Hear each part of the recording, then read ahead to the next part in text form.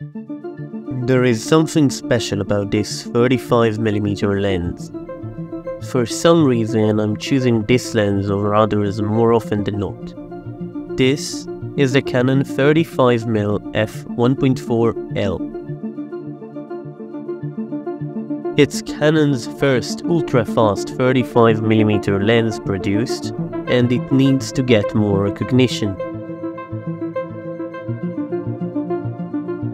The look it creates is something special in the modern age. And the reason behind it is this lens was released in 1998. Lens manufacturers nowadays are trying to make the most optically perfect glass at all costs. This older legend wasn't made with optical perfection in mind, but with optical character and flair.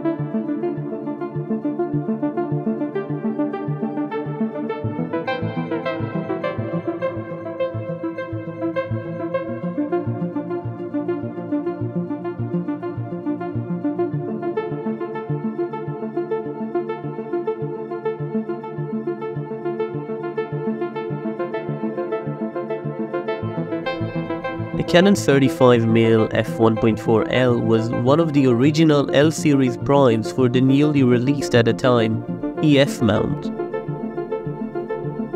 This lens is constructed with 11 elements in 9 groups, with one of those elements being aspherical ground glass. The autofocus system is fast and reliable on DSLRs, and it's even better on my R3 nowadays.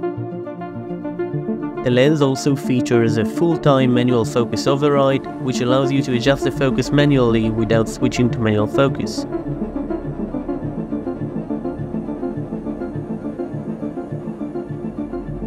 The standout feature of this lens is its fast maximum aperture of f1.4 and the wide-angle field of vision of this lens, which allows for some incredibly cinematic photos and videos even in low light.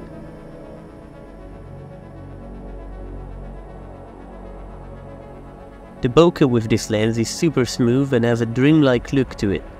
It has a very interesting effect near the corner of the image circle. It's not quite cat's eye, but a different look to other lenses I own. There's some vignetting wide open, which is gone if you stop down to f2.8, but it's all a part of the look. The 35mm focal length is truly a cinematic focal length in my eyes.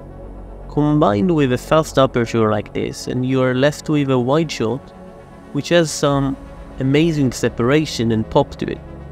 This lens produces imagery that is just stunning.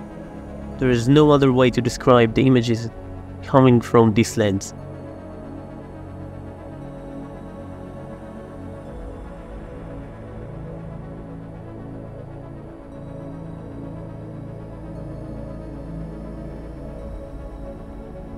I want more new lenses that are flawed in design, that will give the special character to images.